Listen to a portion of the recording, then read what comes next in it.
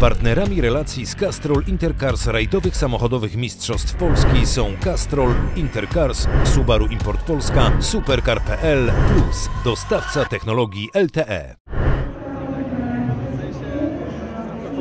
Zawody były dzięki szybkim, dzięki Fajnie, jesteśmy tutaj. Wygląda na to, że udało nam się wygrać w rajdzie, udało nam się najprawdopodobniej wygrać Power Stage, także z kompletem punktów kończymy rajd Świdnicki po raz drugi z rzędu. Także jest to niesamowicie miłe, bardzo chcielibyśmy podtrzymać tą pasę. I dohamowanie w lewy, trzy, potrójny nacisk powoli. Hamuj prawy, trzy. Dzisiaj bardzo fajnie zespół i Tomek Czopik pomógł ustawić samochód, także dzisiaj można było skupić się na czasach, także atakowaliśmy już w swoim, w swoim stylu, no i było chyba fajnie.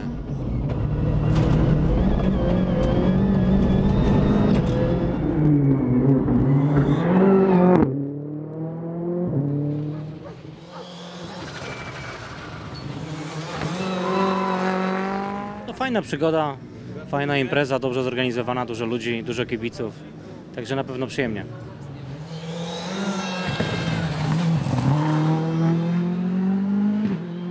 No pojedziemy na pewno kolejną rundę, a dalej zobaczymy. No, nie mamy jakichś skonkretyzowanych planów.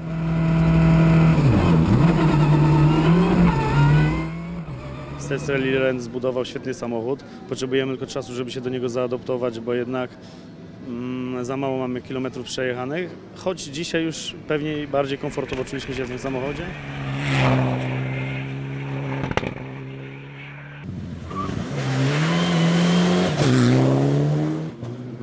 Walka przez pełne dwa dni na sekundy cały czas y, powodowała, że nie mieliśmy chwili wytchnienia, cały czas musieliśmy naciskać. No, skończyliśmy na drugim miejscu. Darek dzisiaj bardzo mocno napierał, tak więc narzucił bardzo szybkie tempo E, i niestety nie byliśmy w stanie dotrzymać u